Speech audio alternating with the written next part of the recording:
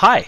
In this demo, I'll show how a retailer can use Microsoft Azure to deploy and manage infrastructure at the edge using Azure Arc, Azure Kubernetes Service, and Azure Stack HCI. Let's start with the backstory. For this demo, we'll use the example of Contoso Supermarkets, a fictional grocery store chain. They're preparing to open four new store locations in the Pacific Northwest, one in Seattle, another in Portland, Bellevue, and Tacoma. For the day-to-day operations of their supermarkets, Contoso relies on two software applications that need to be deployed in every store. The first is Agora, their next-generation store management platform, which they develop in-house and is packaged as a Linux container image to be deployed with Kubernetes. The second app is a software package from the vendor of Contoso's legacy point-of-sale system, which Agora hasn't fully replaced yet. This app requires a Windows server, although it can be virtualized, and it relies on the infrastructure underneath it for high availability. So, here's their plan. For each store, they've ordered two new machines. The machines are cabled, powered on, and connected to Azure Arc, but that's it. They haven't been set up yet. Contoso is adopting infrastructure as code, so they're going to define a template that encapsulates everything needed for each store and then deploy it over and over from the cloud. Specifically, in each store, they're going to form those two machines into an Azure Stack HCI cluster, then use the Azure Kubernetes service to deploy Kubernetes, and finally, deploy that Windows VM for the legacy point of sale app. Okay, let's get started. The first step is to deploy the infrastructure, specifically Azure Stack HCI. To make it easy, we'll do the first location, Seattle, through the Azure portal, and then we'll switch to code for the rest. Here we are in the Azure portal, logged in to Contoso's subscription.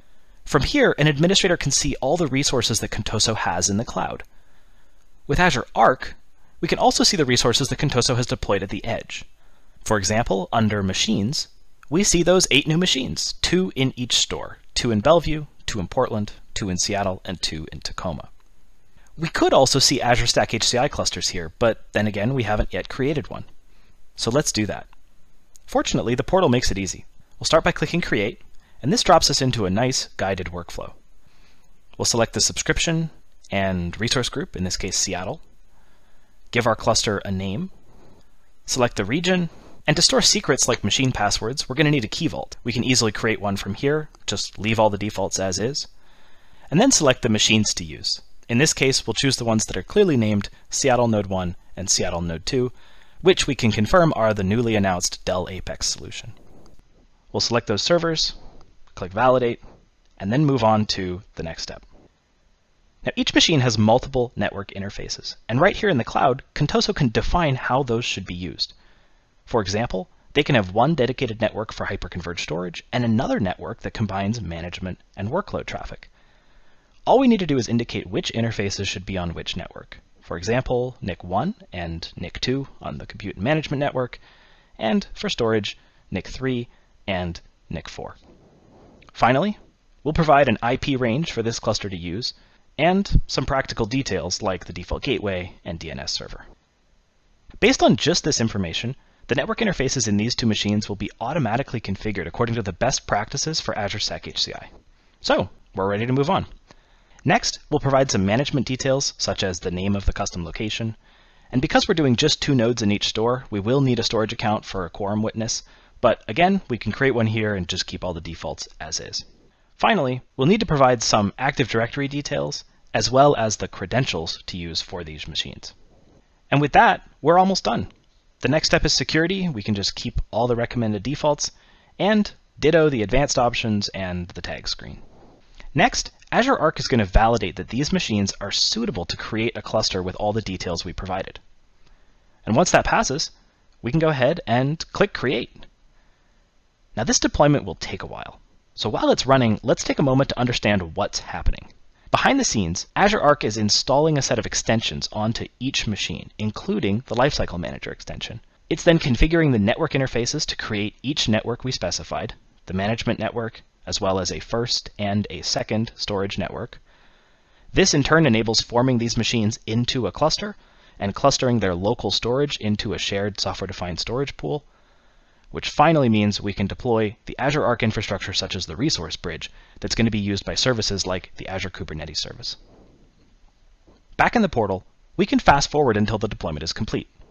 Voila, we can see that all the steps have succeeded. Just like that, Contoso has their first complete cloud-connected hyper-converged infrastructure deployed and ready for use with everything needed to provision their first VM or even their first Kubernetes cluster. The guided workflow in Azure Portal made that easy, but of course, we've only done one location. We've only done Seattle.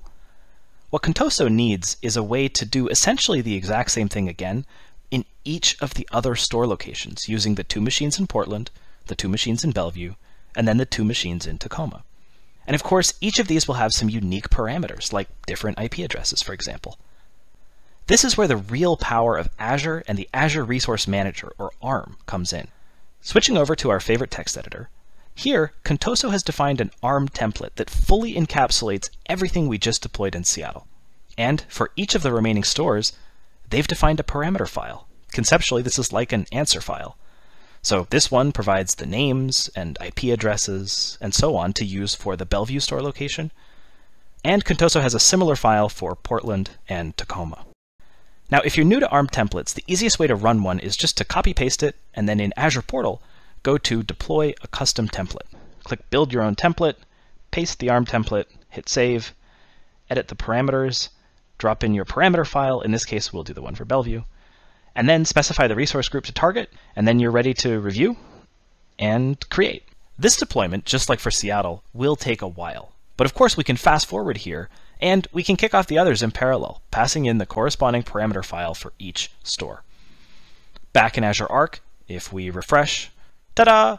The other three store locations, Portland, Bellevue, and Tacoma, are being validated and then will be deployed. And we can confirm that by selecting one of these new clusters and seeing that, indeed, all the same deployment steps are running. So, to recap, starting with just some connected machines, the team at Contoso used Azure Arc to fully define and deploy their desired in-store infrastructure to multiple supermarket locations. It was easy to learn and get started with the Azure portal, and easy to repeat with infrastructure as code, so that Contoso can be confident that every location is deployed consistently and correctly. All right, it's time to move on and deploy our applications, starting with the container-based Agora app. Like we did for the infrastructure, we'll do the first location, Seattle, through the Azure portal, and then we'll switch to code for the others. With Azure Stack HCI version 23H2 and later, the Azure Kubernetes service is built in. It's automatically installed and ready for you to use it, and you can provision Kubernetes clusters straight from Azure Arc. Just select a cluster, like Seattle, and right there under Get Started, you can deploy an AKS hybrid cluster. We'll click and get dropped into a guided workflow. Choose the subscription and resource group, give the Kubernetes cluster a name, and specify which Azure Stack HCI cluster we want to target. Contoso has built the Agora app to use Kubernetes for availability and scale out. So we'll give it a Kubernetes node pool of three virtual nodes and generate a key pair for management. Agora is a Linux application, so we'll use the built-in Linux container host image provided by the Azure Kubernetes service. And for access, check this out. Contoso can natively use Microsoft Entra, previously known as Azure Active Directory, so they can use their existing Contoso admins group for access control. For networking, we'll leave the defaults. Ditto for Azure Monitor, and for tags. And with that, we're ready to review and create. Deployment will, of course, take a few minutes. We can fast forward until it completes. And then we can navigate back to Azure Arc and see our very first Arc-enabled Kubernetes cluster. Now you can probably guess where this is going. Just like the infrastructure, and for that matter, just like everything in Azure Arc, this Kubernetes cluster is a first-class Azure resource, which means Contoso can templatize and automate it using the Azure Resource Manager. Back in our text editor, Contoso has an ARM template for the Kubernetes cluster for Agora, and they have parameter files with the unique strings for Bellevue, for Portland, and for Tacoma. In addition to Azure Portal, a popular way to invoke an ARM template is from the Azure Command Line interface, or Azure CLI, and it's very easy. Let me show you. The command is simply new AZ resource group deployment, and then specify the template file, the parameter file, in this case the one for Bellevue, the resource group to target, and finally, give the deployment a name, and that's it. Hit enter. Now while that's running, we can open a second terminal tab and run the same command again, but this time for Portland. We'll use the same ARM template, but provide the parameter file for Portland and target the Portland resource group and give it a different name. And finally, in one last terminal tab, we can run the command again with the same template file, but with the parameters for Tacoma. And that's it. From here, the Azure Resource Manager through Azure Arc does the rest for us, provisioning a managed Azure Kubernetes service cluster to each store, to Portland, to Bellevue, and to Tacoma. Back in the portal, we can refresh and see that indeed those other Kubernetes clusters are being provisioned. Now if we click one, we can see it shows state as creating, but again we can fast forward and then refresh and voila. Every store now has the desired Kubernetes infrastructure to host the Agora application. And because it's connected to Azure Arc, the team at Contoso can easily use GitOps to deploy the app and to set up continuous delivery. Okay, there's just one thing left to deploy, and that's the Windows virtual machine for the legacy point of sale application. On the Seattle cluster, we can see that there aren't any general purpose VMs yet. The first step to create one is to create a VM image. Contoso's requirements are pretty generic, so for simplicity we can just use the Windows Server image from the Azure Marketplace gallery. We'll give the image a name, select the image to use, in this case we'll choose Windows Server 2022, and then select where to store it locally, and then review and create. Behind the scenes, the image we selected is essentially being downloaded from Azure into the Seattle store. We can track the progress in Azure Portal from here. Once it's downloaded, we're ready to create a VM. In the left menu, go to Virtual Machines, and then Create Virtual Machine. In the workflow, we first give the VM a name. The custom location and kind are set for us. Next, we can choose the security type. We'll just go with standard for now. And then choose the image that we downloaded. If we needed to meet specific requirements, we could specify vCPUs and memory. And then we'll give the administrator username and password for the VM. We don't need any additional data disks, but the VM certainly will need a network interface, which we can name and connect to the logical network in the store, and we'll just let DHCP assign the IP address. Click Next. We don't need any tags, and we're ready to create. Now, as ever, we can fast forward through deployment, and when it's done, we can go to the resource group to take a look at our VM. Notice that what we provisioned is an Azure Arc-enabled machine resource. Now that's really powerful because it means out of the box, automatically, this VM has most of the same management features as an Azure Cloud VM. Take a look. Everything from security to policy to machine configuration and auto manage is all right here. In Azure, a common pattern is to use a custom script extension to deploy an app into a VM. And because our VM is Arc enabled, Contoso can use that same approach here. In the left menu, we'll go to Extensions, Add, and choose Custom Script Extension for Windows. Select the script file, which Contoso has stored in an Azure Storage account, there it is, deploy pos.ps1, and then review and create. In Azure Resource Manager, running this script is actually modeled as yet another resource deployment, which means even this can be templatized in ARM. Okay, with the deployment done, Contoso has deployed their legacy point-of-sale app to the Seattle store. We can see the VM in Azure Arc under Machines, neatly tucked away into its own group that distinguishes it from our bare metal host machines. Now, of course, for the other store locations, we'll use an ARM template to deploy the same VM to Portland, to Bellevue, and to Tacoma. And this is Contoso's most elaborate template yet. They've defined the logical network for the VM, its network interface, its marketplace gallery image, the VM itself, and the custom script to run after deploying the VM, all as one big template that they can version, deploy, and test as a unit. And these templates are pretty readable, which is nice. Here in our editor, we can see each of these resource types being clearly enumerated and defined. We can deploy this template just like we did for Kubernetes using the new AZ resource group deployment command in Azure CLI and running it a total of three times, once for each of our stores.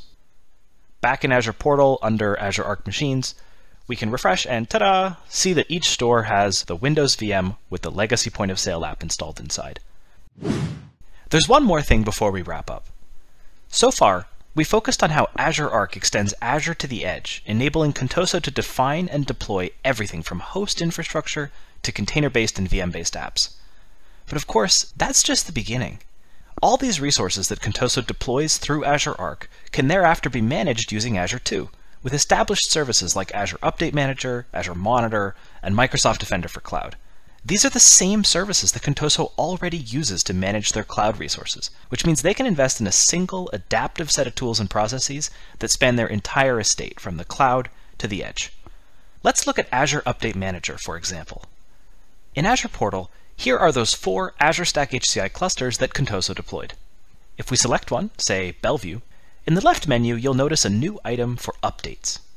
And it looks like this cluster has an update available. Now of course, we could apply it from here, but Contoso would have to repeat that across every cluster, which will be hard to scale. Fortunately, they don't have to. Azure Update Manager provides a central place to update all of Contoso's machines, including their Azure VMs, their Arc-enabled VMs, and now even their in-store edge infrastructure. Here, we can see update availability and readiness across all of our store locations, and indeed, it looks like all four of them have that update available. Just like we would with Azure machines, we can select multiple Azure Stack HCI clusters and update them. Azure Update Manager runs a thorough set of pre-checks to ensure readiness, for example, to catch if any clustered nodes are already down or in maintenance.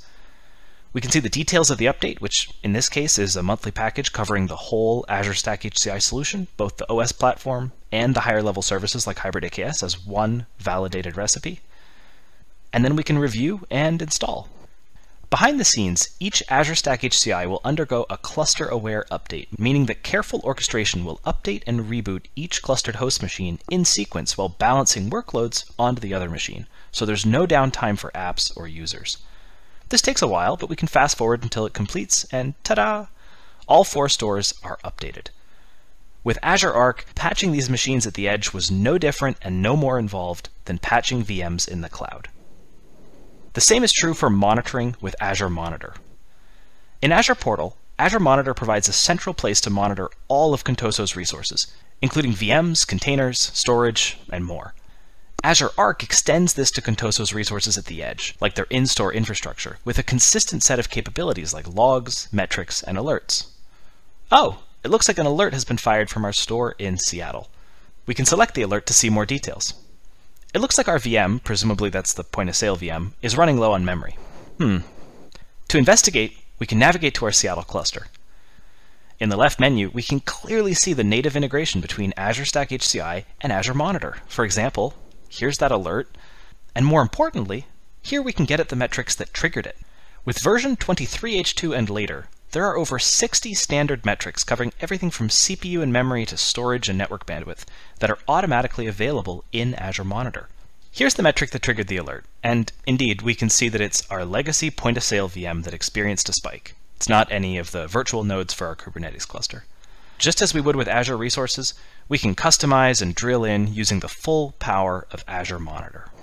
To recap what we've seen, in this demo, Contoso supermarkets used Azure Arc to extend the power of the cloud to their stores at the edge. They deployed hyper-converged infrastructure, a Kubernetes-based Linux app, and a VM-based Windows app, with just a few easy guided workflows in Azure Portal. Then, they used infrastructure as code and Azure Resource Manager templates to stamp out that same architecture in every new store location. And finally, they can manage and monitor all those edge resources exactly as they would in the cloud, with services like Azure Update Manager, Azure Monitor, and Microsoft Defender for Cloud. You can learn more about all the technologies showcased in this demo at azure.com/hybrid. Thanks for watching.